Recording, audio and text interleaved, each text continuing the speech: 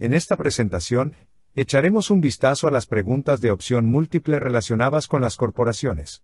Primera pregunta, valor nominal A. Acciones ordinarias emitidas a bajo precio. B. Cantidad asignada por estatuto corporativo. C. Valor de mercado de las acciones. C. D. Precio. Las acciones se venden a un precio que se utiliza para calcular los dividendos. Así que vamos a pasar por esto de nuevo, y usar el proceso de eliminación y ver si podemos reducir esto.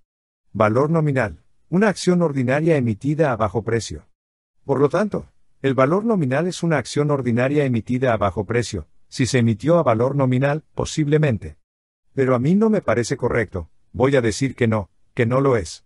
No se trata de acciones ordinarias emitidas a un precio bajo, valor nominal B, cantidad asignada por estatuto corporativo. Eso suena bastante razonable, posiblemente. No sabemos qué es el valor nominal. Podemos decir que tal vez se dice el valor de mercado de las acciones. Y de nuevo podríamos decir, tal vez el valor nominal, el valor de mercado. Tal vez sean lo mismo. De dice el precio al que se venden las acciones. Y de nuevo podríamos decir, realmente no lo sé. Tal vez de y luego E dice que el precio se usa para calcular los dividendos, y esa parece un poco inusual. ¿Por qué usaríamos un precio para calcular los dividendos? Es decir, la junta directiva tendría que presentar dividendos que se paguen de alguna manera. Tal vez van a usar un valor nominal, pero no necesariamente. Así que voy a decir que la E no se ve bien. Me voy a quedar con B. C y de repasemos esto de nuevo, el valor nominal, ya sea B, C o D, ya sea la cantidad asignada por el estatuto corporativo, o el valor de mercado de las acciones, o el precio al que se venden las acciones. Ahora, de esos tres, es probablemente, si decimos que el valor nominal y el valor de mercado probablemente no sean lo mismo, ¿verdad? El valor de mercado de las acciones no va a ser exactamente lo mismo que el valor nominal, a menos que sean, ya sabes, solo dos palabras para exactamente lo mismo. Por lo tanto, los valores de mercado no parecen ser probablemente el precio al que se venden las acciones, o la cantidad asignada por los estatutos corporativos. Y de nuevo, el precio al que se venden las acciones, probablemente sea lo mismo que el valor de mercado. Por eso vamos a vender el stock, lo que podamos conseguir por él. Así que D son más o menos la misma cosa. C apóstrofe S de apóstrofe S básicamente, definiendo C no pueden ser ambos. Así que voy a tacharlos y me quedo con B, que es la cantidad asignada por los estatutos corporativos, que es lo que es el valor nominal. Así que la respuesta es B, y solo para que sepamos que el valor nominal es solo un número arbitrario, y esa va a ser la cantidad asignada, y la razón es simplemente tener conformidad con las acciones comunes para que todo pueda ser estandarizado. Por lo tanto, la respuesta final, valor nominal B, monto asignado por el acta constitutiva de la empresa.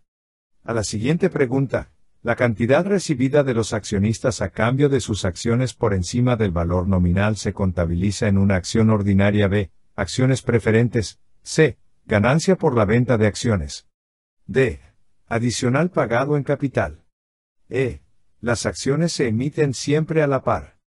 Repasemos esto de nuevo con el proceso de eliminación. Las cantidades recibidas de sus accionistas a cambio de sus acciones por encima del valor nominal se contabilizan, por lo que si podemos desglosar eso, si lo pensamos, estamos diciendo, está bien, estamos recibiendo algo de los accionistas a cambio de acciones. Así que estamos vendiendo las acciones y tenemos dinero por encima del valor nominal. Tenemos algo por encima del valor nominal, sea lo que sea que eso signifique, ¿verdad? Así que si no sabemos lo que eso significa, pasaremos por el proceso de eliminación. Ahora, a dice acciones ordinarias, es más o menos lo que compraron, compraron acciones comunes. Eso es típicamente. Así que podríamos decir a, Tal vez B dice acciones preferentes. Ahora, por lo general, cuando compramos acciones, preferimos referirnos a las acciones ordinarias, a menos que se indique lo contrario. Por lo tanto, probablemente no sea una acción preferente. Voy a decir que eso no suena bien. Se dice ganancia en la venta de acciones, lo que suena bastante razonable, porque obtuvimos, están diciendo que obtuvimos más dinero que el valor nominal de la acción, así que tal vez la acción de alguna manera vale el valor nominal, y tuvimos una ganancia en la venta de acciones. Así que voy a guardar eso por ahora. De dice adicional pagado en capital.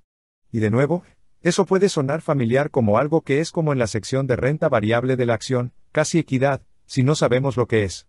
Así que podríamos irnos, me quedaré con eso por ahora. Suena familiar. Y E dice que las acciones siempre se emiten a la par, y eso no parece razonable. ¿Por qué siempre emitiríamos las acciones a un precio fijo? Lo vamos a emitir a lo que podamos conseguir por él. Es como cualquier otro. Tipo de venta, venta de algo, ¿no? Vamos a conseguir todo lo que podamos. Así que no parece correcto, así que nos quedamos con una C y una D. Repasemos esto de nuevo. La cantidad recibida de los accionistas a cambio de sus acciones por encima del valor nominal se contabiliza en una C o D, ya sea acciones ordinarias o ganancias en la venta de acciones o capital adicional pagado. Así que obtuvimos una cantidad recibida de su inyección de los accionistas a cambio de acciones. Así que vendimos acciones y vendimos las acciones ordinarias, pero las acciones ordinarias se van a registrar a la par. Así que lo que realmente estamos diciendo es que nos pagaron algo por encima del valor nominal. Así que no va a ser la acción ordinaria, porque vamos a registrar la acción ordinaria a la par. Si piensas en la entrada del diario, tendríamos dinero en efectivo, ¿verdad? Podría ser bueno anotar la entrada del diario. Recibiríamos efectivo, digamos 100 dólares y luego el valor nominal iría a las acciones ordinarias acreditadas. Digamos 90 dólares y obtuvimos más efectivo que el valor nominal. Digamos 10 dólares. Entonces la pregunta es, bueno, ¿eso va a una ganancia, o eso va a un capital adicional pagado? Ahora, no es una ganancia, porque no estamos vendiendo algo de, ya sabes, de las operaciones en la sociedad. Estamos vendiendo la corporación. Estamos vendiendo la corporación en sí. Estamos vendiendo una participación accionaria en la corporación. No estamos vendiendo como un activo en la corporación. Eso significa que no es una ganancia de vender algo que posee la corporación, o vender un componente corporativo de la corporación. Así que va a ser algo en equidad, y eso es algo que se llama capital adicional pagado en capital. Por lo tanto, la cantidad de respuesta final recibida de sus accionistas a cambio de sus acciones por encima del valor nominal se contabiliza en de adicional pagado en capital U.